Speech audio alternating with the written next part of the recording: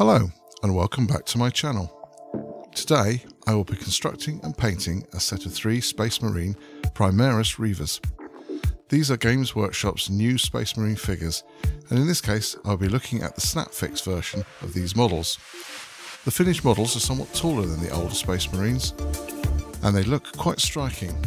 I will be painting them as Dark Angels. The box contains the usual items. There is an instruction manual. This is far better than anything Games Workshop has produced in the past and contains detailed construction information and also the gaming information. A set of decals, which I will not be using in this case. There are also three standard bases, which in this case are slotted for the Snapfix figures, and a single sprue containing all the parts. As you can see, there are no options for different weapons or any adjustments to the figure's pose. I was not expecting this due to the cost of this kit. The tools I'll be using for the construction will be a sharp craft knife, a pair of cutters and some thin poly glue which I prefer to the gel. I start by removing the parts from the sprue for just one figure at a time. Today, I will not be using the Snapfix option, but will be gluing the figures together, and as we will see later, this turns out to be a good thing. I clean the part up, ready to dry fit,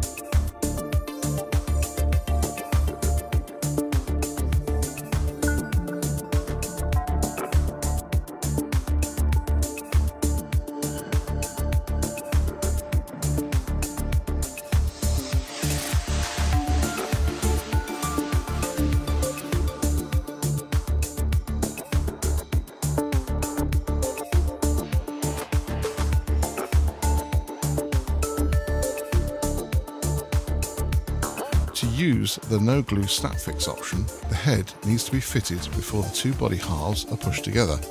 As I'm gluing these, I will add the head later.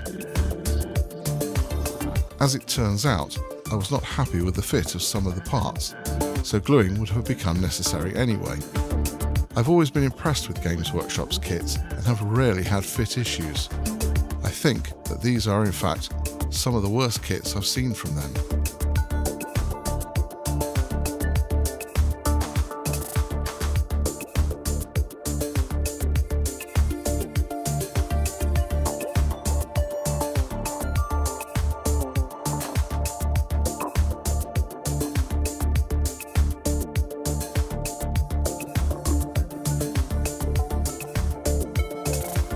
Have not glued the figures to the bases, but I'm just using them to hold the models. I will customise the bases later. Here, I'm cutting off the flange from the head so I can fit it to the already glued body.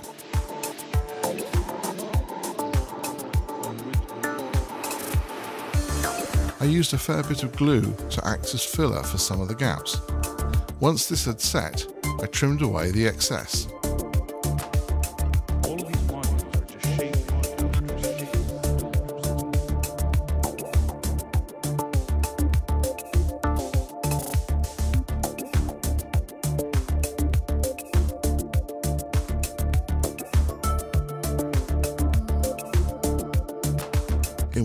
Case, one of the arms was such a loose fit that it would not stay on without glue.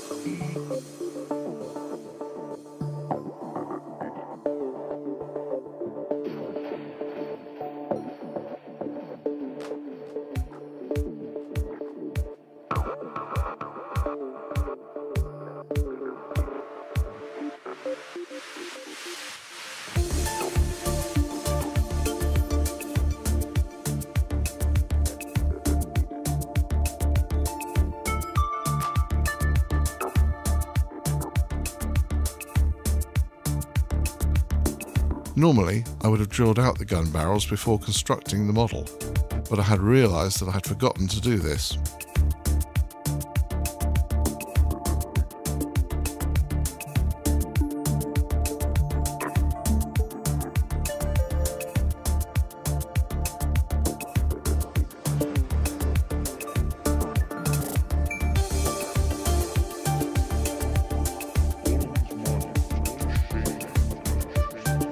As I'm going to customise the bases, I have to cut off the bars from the feet of the figure.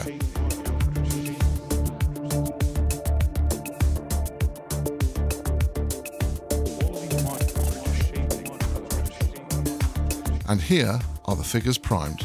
I have drilled into the feet and superglued wire to each model and have then pushed this into a bottle cork. I have sprayed the figures with Caliban green as these models will be Dark Angels. I'm now going to start a detailed painting.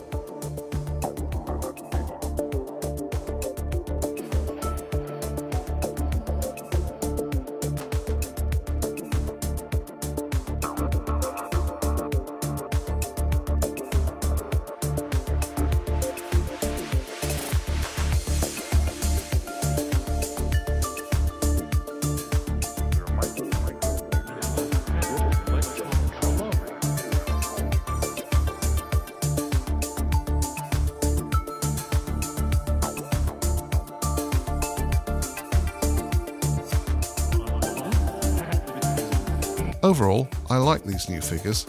They are very striking and should stand out on any battlefield. The bad fit is disappointing, but was no problem to remedy and had no effect on the look of the figures once painted. I think that the Primaris figures that use the standard construction, although a little more expensive, will be a lot better and give you a good selection of options. This is something most Games Workshop's kits are known for. And here are the completed figures with the customised bases. Look out for the video on how I made these bases. I hope you enjoyed this video and found it of some use.